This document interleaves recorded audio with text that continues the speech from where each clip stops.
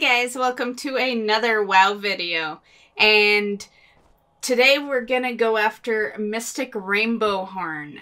I have been on the hunt for this one for a long time.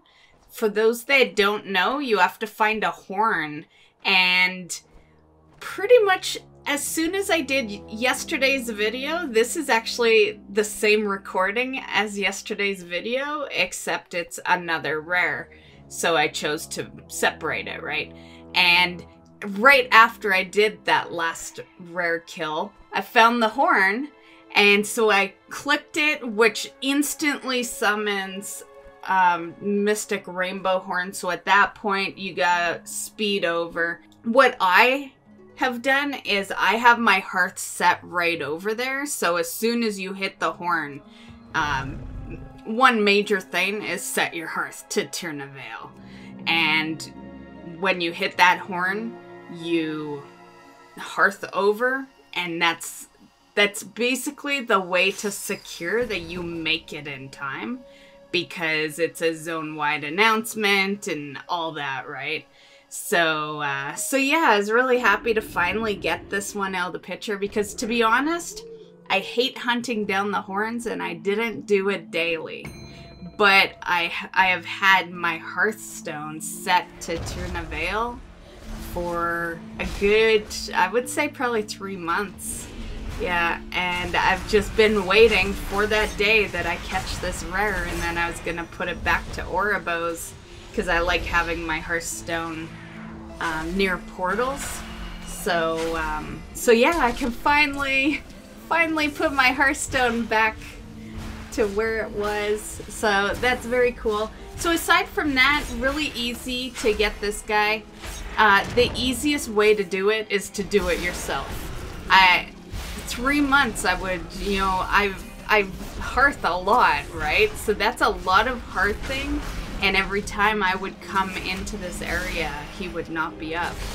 So it really goes to show that either people think he just spawns or people just don't want to do the horns anymore, right?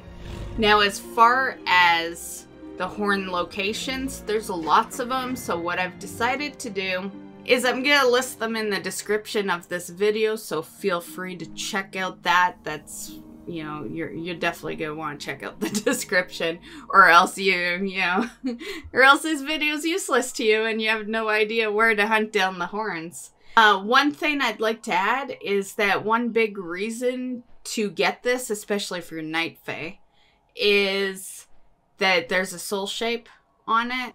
The soul shape is a 43% drop chance.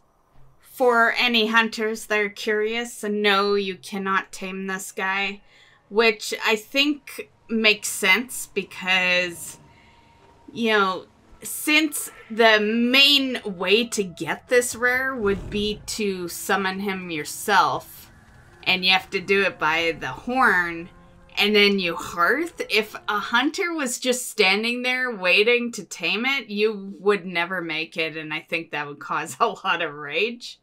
But all hope isn't lost, hunters. You know how it goes.